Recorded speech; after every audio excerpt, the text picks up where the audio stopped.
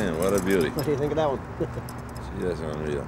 We were over on the other side and we saw you playing that one out and hauling in, and we just had to come over and have a look. Isn't that gorgeous? Yeah. That must be five or six pounds. Yeah, it's at least five. You were fishing out the, the faster water here. We're fishing uh, slower moving water. Yeah, it seems like uh, when the water is low, the faster moving water is better. You're using I'm using the Tiger. The Tiger. It's the first time I used that one. You broke it in well. Yeah. I used one yesterday, only it was more blue and, and I didn't have any luck at all. No, I Okay. didn't fish the faster water. No, like I was going to say you're down the end I was now. down below. The bluer one I found better before. Like all last year I was using the blue ones and I found good. What's the biggest you've hauled out of here? Good eight pounds. So you're pleased with this this morning? Oh, I'm pleased with that one. You've got dinner and you've got supper. Yeah, That's a beauty. Beautiful trout inside, aren't they? Nice and orange. beautiful, yeah. Delicious. Well, I might try that later this afternoon and, get into deeper water and see if the, the maybe the bigger fish may be in the deeper water, right? They're very well may. We never tried it at all yesterday. Yeah. We were very successful yesterday, but they were smaller fish. Four Yeah. pounds, probably the biggest. Oh, that one breaks my heart. Well, congratulations, sir. You got a grand big fish here.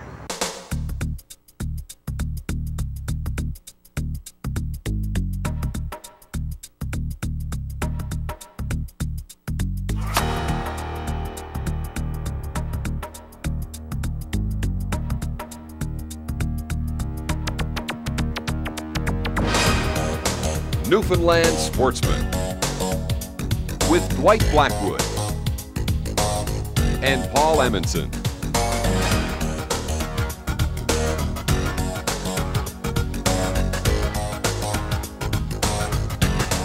Brought to you by your Newfoundland Toyota dealers. Play it smart. Get Toyota quality priced right. These local Arctic Cat dealers. Arctic Cat, world class snowmobiles. Air Labrador. For convenience, comfort, and service, this is your airline. IMP, your outdoor store. And Action Toy Store. Toys for the outdoor motoring enthusiast. The area right now is, is at this point, uh, as we speak, are really finding the effects of this uh, recreational fishery. And we do believe that this is just the uh, tip of the iceberg, and if we advertise it properly and we, we, enough people become aware of it, then it's got to go nowhere but up. And uh, we're fairly excited about it. And matter of fact, we, we've even uh, made a, uh, a festival, a folk festival, around the rainbow fishery, rainbow trout fishery that we have, and we call it the uh, the Rainbow Folk Festival, which we uh, we had it last year, and we're definitely going to have it again this year, and we hope it's going to be an annual event, and it's something that we can build on. This week, in part two of our fishing trip to Bay d'Espoir, Dwight and Paul continue to enjoy the great rainbow trout fishing found in these waters. And after finally taking some advice from the local fishermen, Dwight lands the big one. Later, we'll go back to the start of the rainbow and get the inside scoop on the origin of these fish and the unexpected sports fishery that they've created.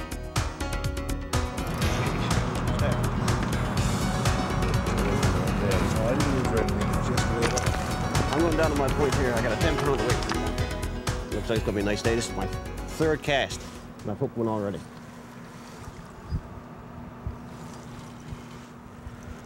There he comes. There he comes.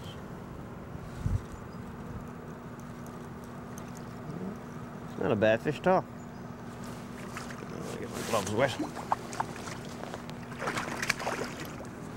Okay, not ready yet. Hmm.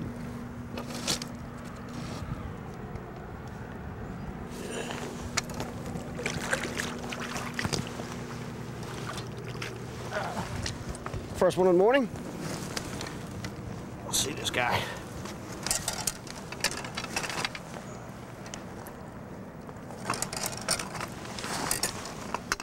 They really have beautiful colors, don't they? Mauve and blue.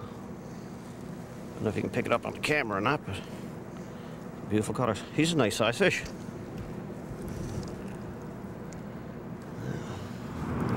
I put on a tiger shark rattling rap like we saw earlier. I cast out in the fast water. I say it was on, on about the third cast. This one nailed it. I haven't seen him yet. But he feels nice. Oh, he is nice. There he is. Come up the top of the water. Look. Oh, what a view. Whoa. Jeez, don't I love this place. Oh man. Look though, look. Yeah, he's a nice, he's a nice one. He's a three pounder, I'd say. Maybe that's where we're all to in that fast water. Oh, he's a beaut. Oh man. Look, look.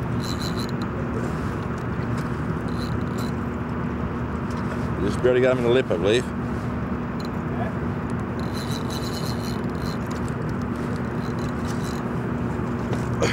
Come on. Come on in. See, I have the net with me. Oh. He's coming to shore. I'm not going to lose him. Come on, baby. A little bit further. Oh, I got him pretty good, I think. Oh, what a... What a beaut. Whoa. Oh. Isn't this a fish or is this a fish? Oh. Hey. Man, oh man, maybe that's where all the big ones are too, in that fast water. What a gorgeous fish. Now this one is a lot more silvery than the other one that we saw a few minutes ago. I guess he's probably fresher from the salt water.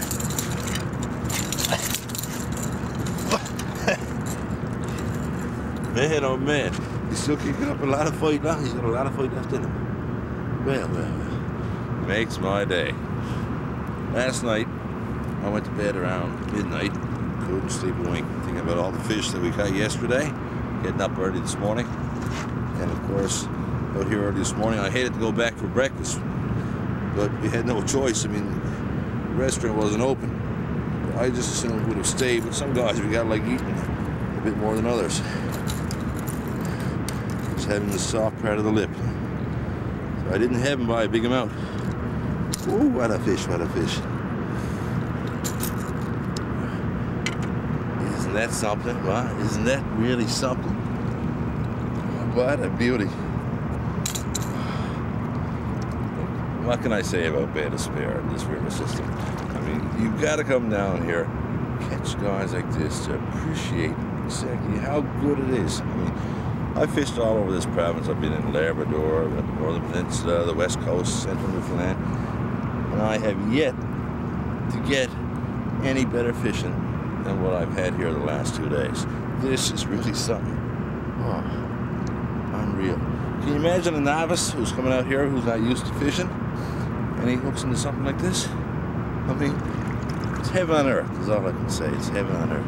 Ooh, gee. What a fish, what a fish. Man, oh man.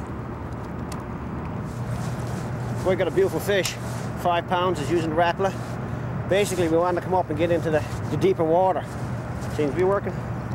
I'm to see if I can catch a couple of them. It seems that the bigger fish are in the in the deeper water, the faster water. Well, we were doing uh, down here, we were fishing on the shore here, and hey, I'm not complaining. We had beautiful fish. Uh, I mean, that was a great catch of fish by anybody's standards. But after doing that, getting some for the pan, you'd like to go up and get some of the big ones. And uh, Dwight's starting to do it right now, getting one. So let's see what we can get. He's down there, look, bragging to me now.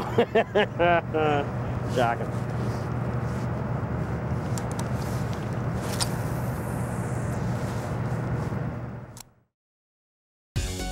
For the outdoor enthusiast, Newfoundland and Labrador offers excitement second to none, and the Newfoundland Sportsman magazine brings that excitement home to you. Subscribe now and begin enjoying interesting and informative features with exceptional photography, focusing on every aspect of our great outdoors.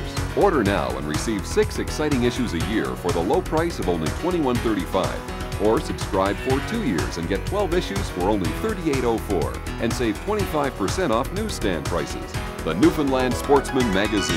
Outdoors at its best.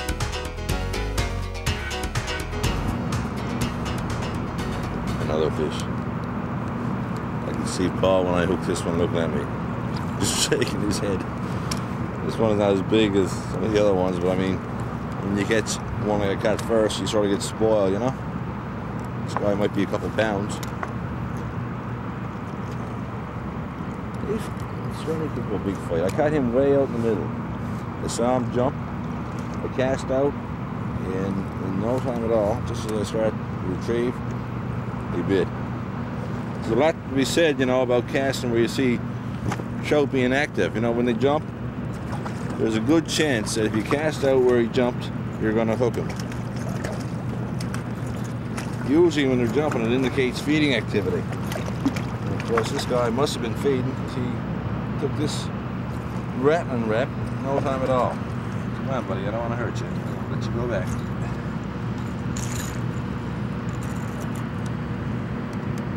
Uh, just barely had him, huh? Just, just in the right spot.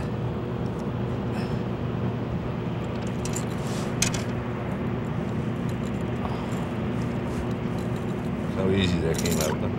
Just barely had him. Oh, they're gorgeous. Buddy, you go back. I'll catch you next time I come down here. Man. Rapalas. Remember we were talking earlier about uh, local bait and Rapalas, and I said I was going to use Rapalas. Now, I didn't quite intended on this, but nonetheless, it's an artificial lure that I use quite often. All the Rapala family, your, your jointed Rapalas, your floating Rapalas, your sinking Rapalas. And, uh, and for uh, these rainbows, this certainly appears to be one of the better ones.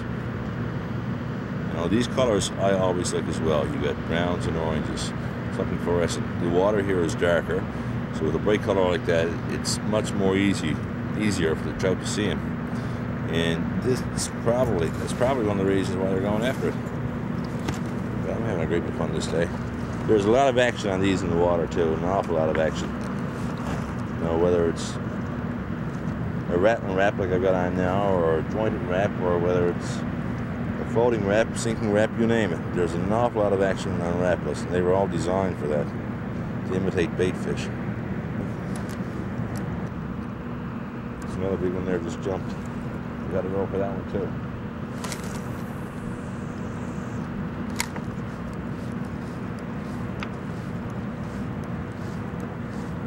That's a big big felt the ice. Must have been the fast current. Look, I'm going. Look. Paul. How many you have? you must be like the Maytag repairman, are you, buddy? oh, this one's really silver. Look. Look, he's really silver. He must be right in from the ocean. Guaranteed. Well, these rattling raps are working fine. Just fine. Oh. What do we? Look. He was caught before, look. See the small hook sticking out of him? So this guy's been feeding well. There's a snell hook wrapped all around him and it's wrapped all around my hook, of course. So he must have been feeding well. Some guy lost him and I got him back. Boy, he's really silver. He had to be feeding the ocean for a while. He's not quite as fat as some of the other ones. But that could be because he had been hooked before and who knows how long that might have been there. I thought you told me you had a green rat though. I'm not going to tell you anything, Paul. You've been lying to me. You must feel some lonely. You know, it's even the camera crew. You catch him here? Even the camera crew went away from you. Uh, I had to come down here to see yours. I'm up sitting on the rack for myself.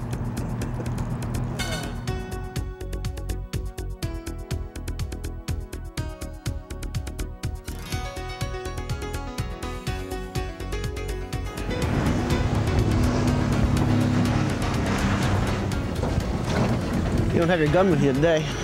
Last time we were out in the boat, you didn't need your gun either. Um. you could have st- threw a stone at the one turn you got. You won't let me live it down, will you? Huh? Um, you got uh, filthy that trip, but I mean, A lot of people have mentioned that, you know, that uh, you didn't get any turns. they were all so surprised. I mean, just wait till they see this show. You'll know who's the better of the two.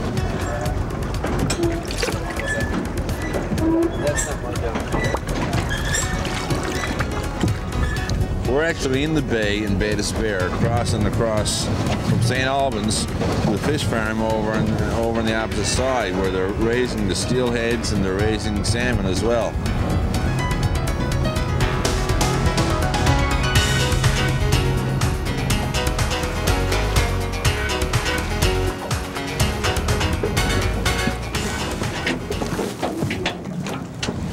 Well, this is a big operation. Lots and lots of cages, lots of nets, lots of fish. I didn't realize an operation of this nature, you know, the aquaculture business, particularly when you're talking about steelhead and uh, salmon would be as large as this. I bet you there's some big fish here, some huge fish. You know something? I got something here. I can find some line, no one's looking. I can see a 15 pounder or even a six or seven pounder. Watch out.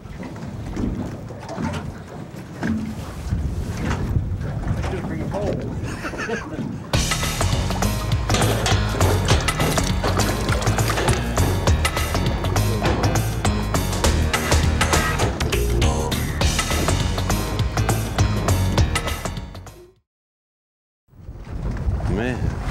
jeez, there's something. We thought we saw a lot when we saw the salmon. You know, I think uh, Paul might even stand a chance of getting the salmon or getting the steelhead here. oh, that's on. They're not feeding Okay. very hard now because the water's cold and uh, they're feeding really slow. Come on, boy. Gee, They seem to be taking it pretty good to me. If this were summertime and we're warm, you get wet here feeding them like this, they make that much of a fuss. How many of these big ones would be in the net like this? Um, at this size, about 10,000. Just imagine 10,000 six or seven pound steelhead in one small location.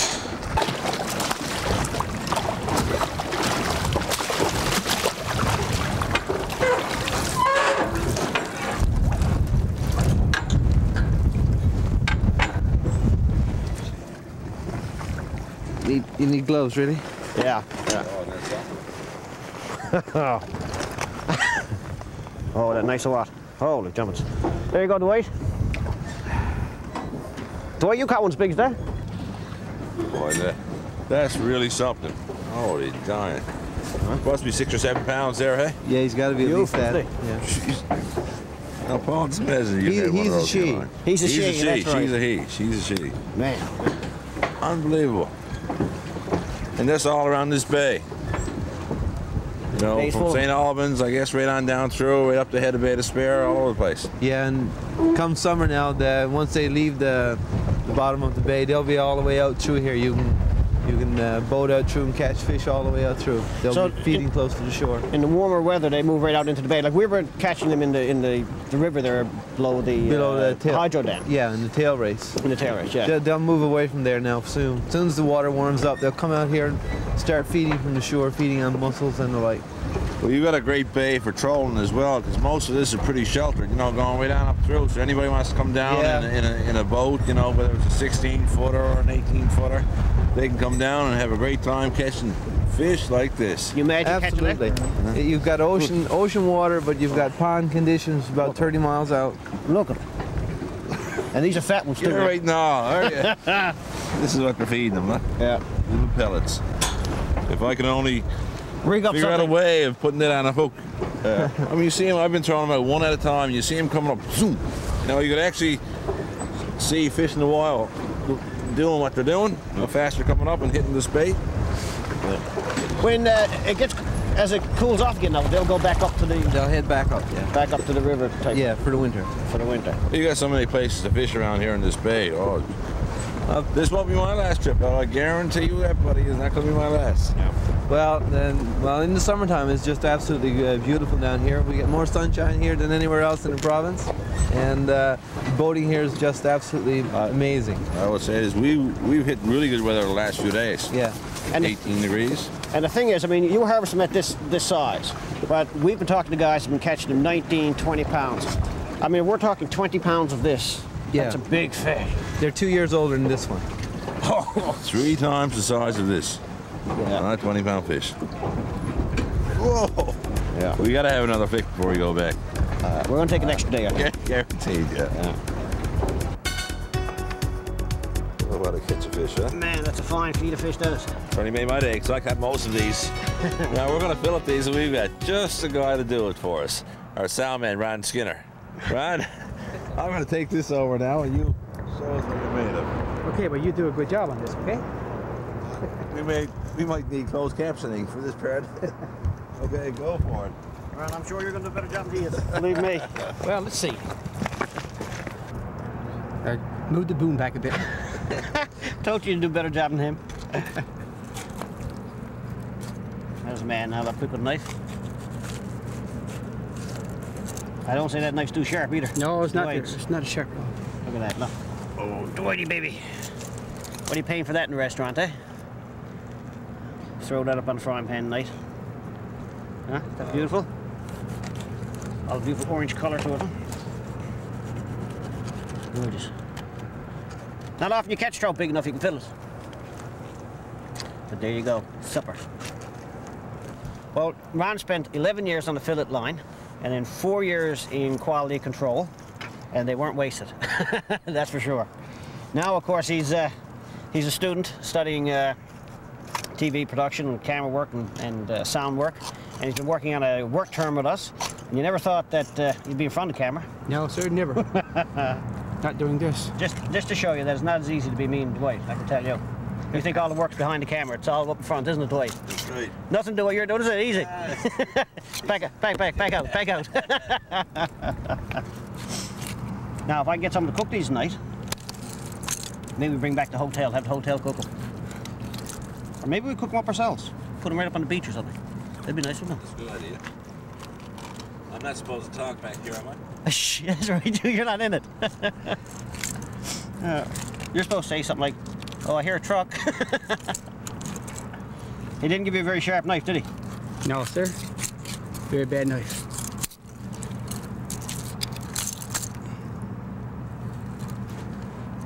Oh, well, you're doing a better job than I do or Dwight will do, I can guarantee you. Yeah, well. Well, it's been a while since I had rainbow trout for dinner. Look at that. Don't worry about the knife, Dwight. I can't hack either. You can call what he does acting, do you? I wish it was acting. you could act that stupid. I wish it was acting, son. I believe it. Oh, my.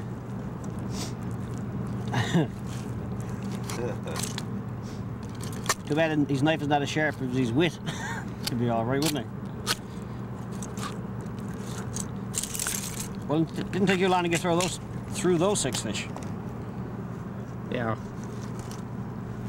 Under these conditions, I think it's pretty good. Yes, I do too. Yeah. Now, when you go back to school, you'll be famous because you were on our TV program. they have to believe that you worked on a program then. Yes.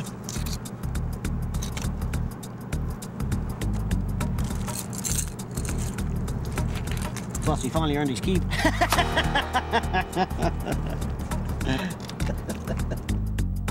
Newfoundland Sportsman. Brought to you by your Newfoundland Toyota dealers. Play it smart. Get Toyota quality priced right. These local Arctic Cat dealers. Arctic Cat, world-class snowmobiles. Air Labrador. For convenience, comfort, and service, this is your airline. IMP, your outdoor store. And Action Toy Store. Toys for the outdoor motoring enthusiast. While in Bay d'Espoir, cast and crew of Newfoundland Sportsman stayed at the Vancour Motel at Head Bay Despair.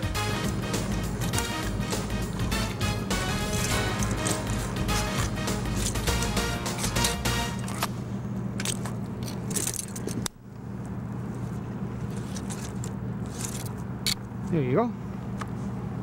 Let's go make a nice meal, lettuce. Yes, sirree. Take a big one. Ready for the frying pan. Ready for the frying.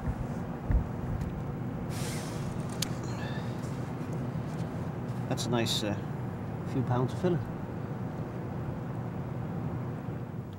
Well, the fish that are out there swimming around will probably be around for two to three more years. I guess there will be continual trickle losses from the farm. Um, so as long as we have fish farming in this area, you're going to see a, a, really good sports fishery here for steelhead.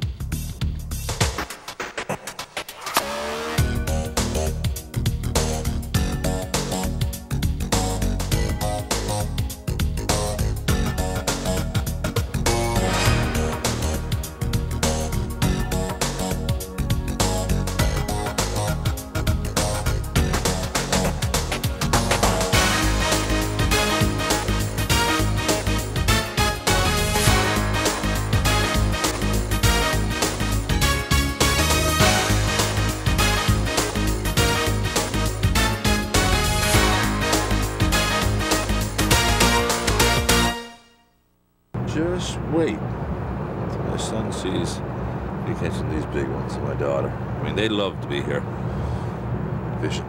They went to the game there last night, the Nintendo game, bass tournament. I had some practice on that for. Whoa! Oh, jeez! Jeez!